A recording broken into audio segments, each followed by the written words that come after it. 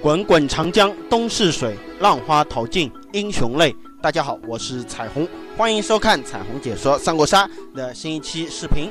好的，那么本期视频的话，嗯，彩虹还是给大家啊带来日常的更新。那么我们来看一下我们本期视频的第一把录像。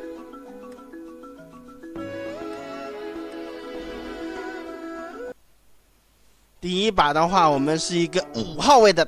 大忠臣啊，那么主公选择了刘老板，我们是跟主公正对门的一个大忠臣的话，我们选主视角玩家选择了我们的这个喜欢玩铁索连舟的一个庞统啊，那么铁索连舟而行，动物随时可破。那么在《三国演义》里面啊，就是说这个庞统啊，我们的庞统啊，给我们的曹老板啊建议啊，这个在啊在这个什么战船上面啊，用铁链子。绑起来啊，就可以如履平地啊！无论是人还是马啊，都能像这个 像平地上一样。包括我们的我们的黄老头啊，我们的黄盖黄盖老头啊，也建议诈降之后啊，也建议说是啊，用铁索连舟这样子走啊。所以说啊，那么黄盖说的那句话，那不是说我真正的啊铁索连舟能把东吴的水师能打败啊，这只是。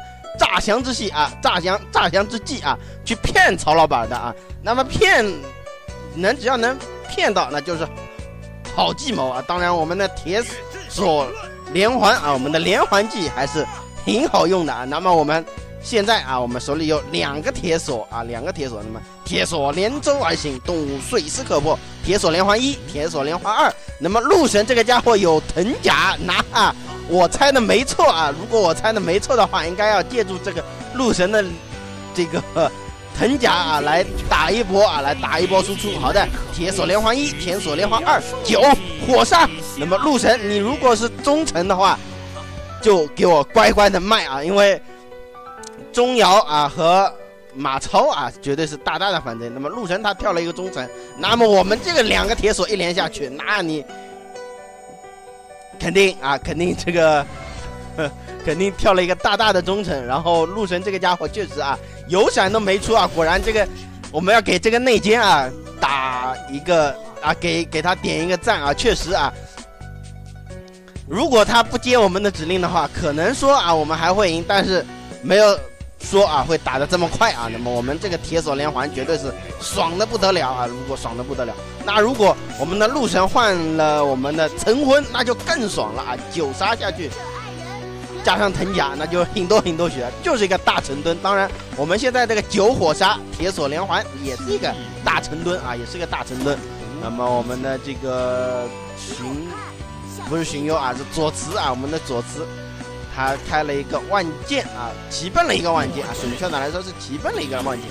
那我们不怂啊，我们肯定这个该闪的时候闪啊，该卖的时候卖。那么马超这个家伙死了之后，那我们就放心了，那我们就放心。为什么放心了？因为他那个铁骑啊是能屏蔽掉我们的涅槃的啊，能屏蔽掉我们的涅槃的。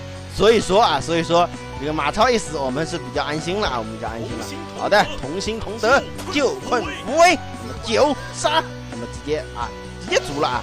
如果没足，那不好意思，我们铁索连环一个，直接砍一刀啊，砍一刀我队友，那肯定是这个能获胜的，肯定是能获胜。那么我们第一把啊，体验了一把铁索的快感之后，那么我们来看一下我们的第二把，因为我们第一把赢了，肯定要为后面的几把啊博一个好彩头。那么我们第二把是一个二号位啊，不是二号位啊。七号位的大忠臣啊，那么七号位的话，离我们的经典聚宝的位置啊也是比较近的啊，所以说啊，这个看看我们的能不能触发经典聚宝啊。那么过河拆桥的话，这个小胖举手来拆我们啊，啊，那拆拆就拆呗，是不是？只要小胖不要干的太过分啊。当然，这个九杀蔡文姬的话。不明觉厉啊！不明觉厉。好在我们的小胖啊也没有猜错人啊。我们的这个蔡文姬确实是个大反贼啊。好的，那么他刚刚一个决斗的话，哎呀，再加上这一个方天三杀啊，那就爽了，那就爽了。好，手重手轻，一称便知。那么我们拿了一个加一码，拿了一个杀啊，因为我们毕竟有闪啊，有闪。我们加一码的话，对于我们来说是比较喜欢的啊，因为每一个。武将啊，每一个武将都喜欢这批沈佳宜啊，都喜欢这批沈佳宜。哪怕我们的女的武将也喜欢沈佳宜啊。那不要问我为什么，不要问我为什么。那关键型的时候啊，沈佳宜就是能卡的你死死的，沈佳宜就是能卡的你死死的。好，那么我们的蔡文姬的话就这样挂命去喽，那让他去吧。啊，我不斩无名之辈。那么他果然是第一个去啊，并且完成了我们的这个守柜啊，成成就守柜。那么。好的，法正他是一个大忠臣，黄盖他是一个大反贼啊，大反贼。那你法正和黄盖，你这个借黄盖啊，法正千万不能手残啊！你黄盖干法正啊，你法正千万不能手残。你如果一手残点恩怨，那正好中了黄盖的下怀啊。那黄盖说，哼，正中下怀啊。好，手重手轻，一称便知。那么我们。嗯，有无双啊，有无双的话啊，有无双，还有猎弓啊，有猎弓，那肯定果断猎弓走起啊。那么我们血是一血，然后我们的手牌又是比当前的血量多啊，所以说我们满足了猎弓强重加加伤害的条件啊，所以说那我们配合上连弩就是杀中百步穿杨啊，那么一杀两血，一杀两血，那肯定是妥妥的啊，妥妥的。好，那么这个法阵的话，能不能这个恩怨？其实说怎么开的都是比较尴尬的，因为一旦开了，等于一一旦发动恩怨，就等于说是助路神连赢啊。那当然还是还是阵亡了，那没事啊，没事。那么我们现在还是猎弓啊，那么杀中百步穿杨。那么我们来了一把这个。狗定刀啊，来了一把菊花刀。那么这把菊花刀的话，感觉啊，我哪怕爆不了鹿神啊，我肯定要爆一个人，不然的话，啊，我们要体现出这把武器的价值啊，要体现出这把武器的价值。好的，那么我们直接过了之后的话，那就是是刚刚我们是放权的回合，那么现在是我们正常的出牌阶段，所以说一杀一杀一杀，那只要我们有杀，那只要刘禅放权给我们，我们有只要有杀啊，只能摸只要摸得到杀，那就是。杀中百步穿杨啊，百步穿杨。那你陆神想，他是是有身后的排队啊，但是那不好意思，我连你出牌的机会都没有，你那你身后的排队就没用了啊，就没用了。好的，那么我们第三把的话是一个啊，又是一个五号位的大忠臣啊，跟我们的呃庞统啊，跟我们的庞统是一模一样的位置啊，跟我们第一把庞统的位置是一模一样的，因为我们又是跟主公正对门的话啊，那这个忠诚属性。啊，如果一旦我们选爆将的话，忠诚属性就比较高啊。好的，那么我们魏延骑手啊也是比较给力的啊，骑手摸到了一张这个神男蛮啊，摸到了一张神男蛮。那这张神男蛮我们肯定要藏起来啊，一来啊我们要藏起来，二来我们肯定要在关键性的时候放出去啊。那么这样子放出去啊，才会体现出这个南蛮的神这个字啊。那么如果现在开的话，我们肯定。啊，南蛮肯定是南蛮，但体现出这个这个体现不了这个神的价值啊。好的，那么我们现在的话，蔡文姬开了一个南蛮啊，蔡文姬开了一个南蛮的话，我们其实还是没必要开啊，因为如果一开的话，一来啊，我们有可能会收不到人头牌；二来的话，反而祝祝融这家伙又拿了一张南蛮，这样的话等于场上有开了四个南蛮，那祝融他肯定有南蛮。他一来他肯定会放，二来的话，哎呀，这个家伙没放啊，估计他也是怕曹丕或者那些反贼方有桃子吧，翻来翻去啊，他估计也是怕这一点。那么没翻的话，那就没哦，没放的话就没放呗，是不是？我们还怕你祝融把曹丕给打死呢啊？好的，那么我们的曹丕要顶住啊，顶不住的话，那我们这个桃子的话。不知道能不能把你捞回来啊？好在你还有一个桃子，那问题不大啊，那问题不大。好，铁索连舟而行，动物水势可破。我们的黄盖他确实啊，这个大反贼。那为什么他兵乐不去乐曹丕呢？反而去乐了一个左慈啊？好，那么我们可以看一下夏侯渊啊，他是神速一、神速二都打曹丕，那应该是个大反贼啊，应该是个大反贼，或者说是夏侯渊他有可能是忠臣，曹丕。他不领夏侯渊的情啊，那也是也这有这种可能的。那么我们暂时先不管夏侯渊是忠臣还是反贼啊。那么我们现在肯定要体现出这个南蛮的神了啊，因为场上已经有人残了啊。那么成王败寇怎可有勇无谋？那么配合上我们这个南啊，那就是我们开启排队的节奏啊，开启排队的节奏。好的，那么这个马超的话，你快点呀啊，我们要动手了。那么再不动手啊，这个曹丕要被你们干掉了。那么，与其被你干掉，那还不如我把一些反贼方全都干掉啊！好的，那么左慈是一个大忠臣啊，那么顺手牵羊走起来，那么成王败寇怎可有勇无谋？那么我们喝个酒啊，那么该开大的时候肯定要开啊，肯定要开。好，那么我们这个曹丕的话救一下啊，给我翻过来。哎呀，我们狂谷摸到一张牌，曹丕放逐的时候又给我们摸到一张牌。那么我们现在能杀。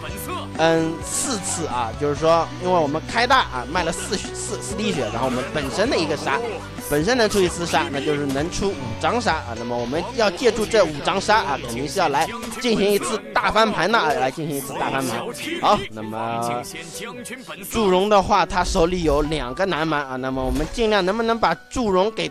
推下来啊！因为我们一个忠臣已经死了，所以我们就不指望内奸他还能干什么事情啊！所以说，我们祝融肯定是要干起来啊，肯定是要干起来。那么我们顺手牵羊的话，手也是不够骚啊，南蛮顺不到啊，南蛮顺不到。好，那么现在的话，我们扒掉一个南蛮，祝融手里还有一个南蛮，还有一个南蛮。那么我们把祝融干掉之后，那么这个南蛮现在在曹丕手上了。所以说，那么剩下来的话，我们就算夏侯渊干不掉啊，夏侯渊干不掉的话。那也没事啊，那也没事。那么曹丕南蛮一个杀应该能搞定了，一个南蛮一个杀能搞定了啊。好，南蛮入侵走起来。那么这个肯定要无懈了，因为我们肯定要赢了啊，所以说不会放你夏侯渊的水的，肯定不会放你夏侯渊的水。好，勿善于千里袭人啊，这个神速三刀啊，果然你这个。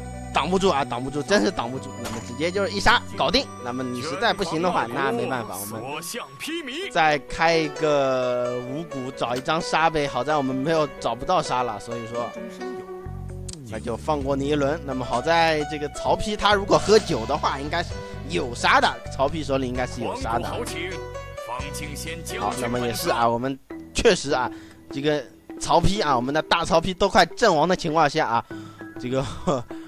绝境啊，真的是翻了一把哈，不然的话，这个借助这个南蛮啊，借助着这个南蛮啊，真的是绝地啊，南蛮绝地大逃大逃生啊，大逃，嗯，大获胜啊，大获胜。好的，那么我们来看一下我们的最后一把啊，本期视频的最后一把是一个二号位的大反贼，主视角玩家啊选择了土豪属性比较高的这个陈玉啊，那么主攻选择了我们的大曹睿，但是陈玉的话啊。嗯，其实啊，我只是有点我我自己个人的看法，确实，他土豪属性比较高啊，他的土豪光环是比较高，这一点啊是毋庸置疑的，这个 这个肯定是事实啊。但是，嗯，这这唯一一点是彩虹个人认为啊，就是说这个武将其实嗯并没有多大用处啊，可能说人少的时候啊发挥的会比较好，但是现在如果在八人场的话啊，你如果在面临这种成为众矢之的的情况下啊，真的是土豪属性高也没用啊，土豪属性高也没用，尽量选一些这个符合自己这个这个身份的一些武将。当然，你反贼选个陈宇肯定是没有呃，肯定是没有问题的，肯定是能选的啊，肯定是能选的。好的，那么我们如果要跟陈宇一起当队友，那我们肯定不会怕的。那么如果跟陈宇当敌人啊，那就要准确的推测出啊，陈玉他的设伏的牌啊，陈玉设伏的牌，我们可以猜一下，陈玉他一般会喜欢设伏些什么牌？因为主要的输出啊，因为我们三国杀现在目前主要的输出啊，还是杀和 A 啊，比如说九啊，我们的九杀肯定是主要输出的啊，我们的九杀。还有南蛮万剑决斗，或者是顺手牵羊过河拆桥之类的。那么当然，我们一回合只能设伏一次啊，所以说我们设伏的话就要这个想想清楚啊，想想清楚。那比如说我们刚刚如果设伏杀的话，那个韩当这一刀砍我们，我们可以设伏掉啊。好，那么我们这样子的话可以来，嗯，来随便设伏一下，让他们啊，让他们。慢慢猜啊，让他们慢慢猜。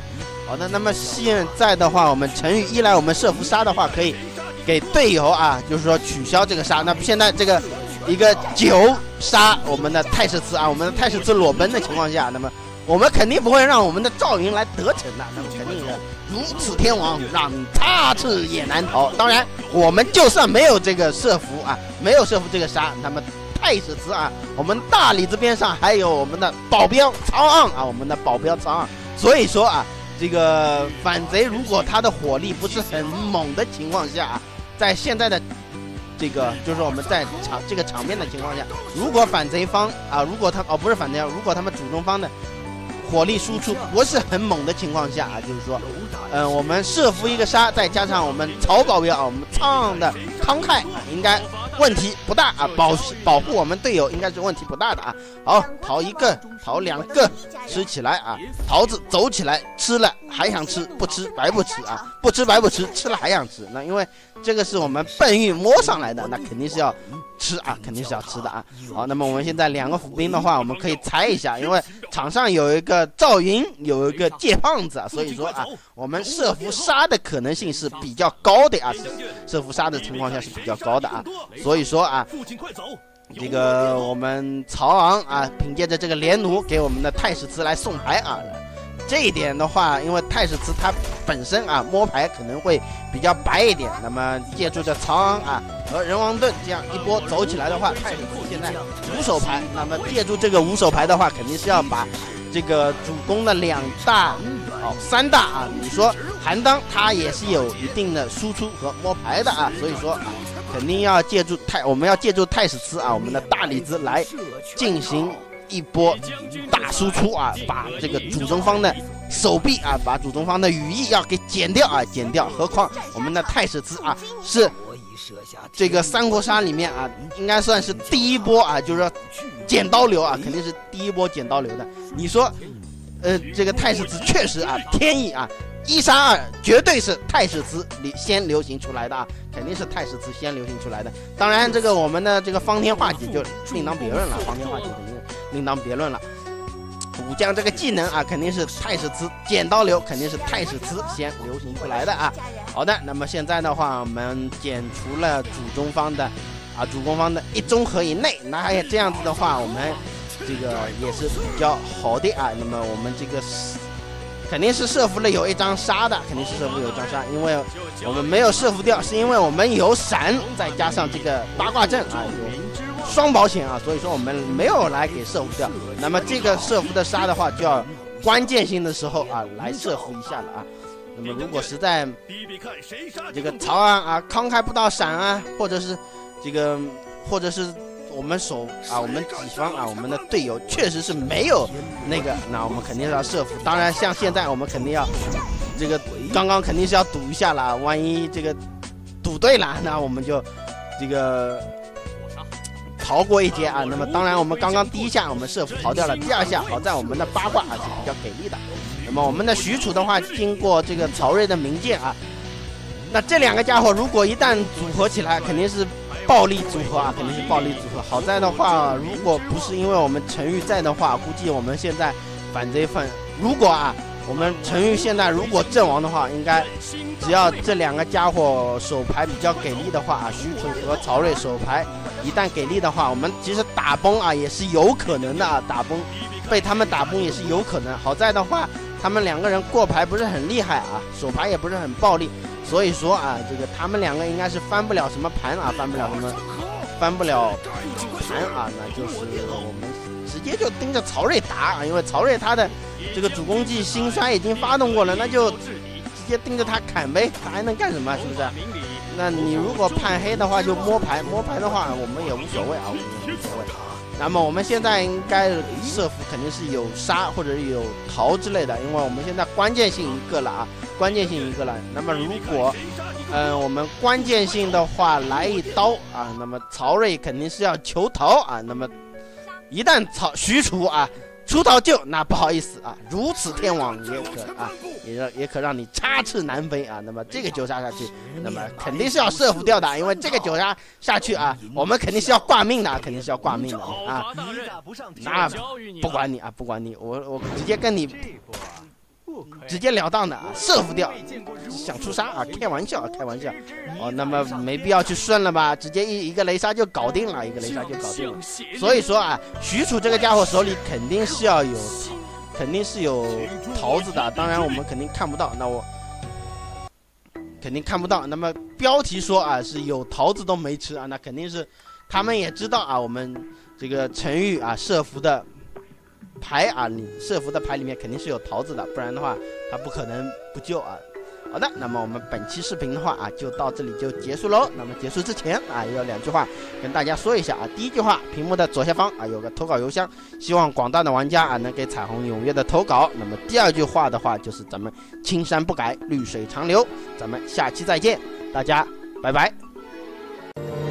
大漠烽烟阵阵，江城风作人。我提笔墨一轮，染两行情分。数遍悲望，红颜不肯烧我这满纸离问。问几句，是真。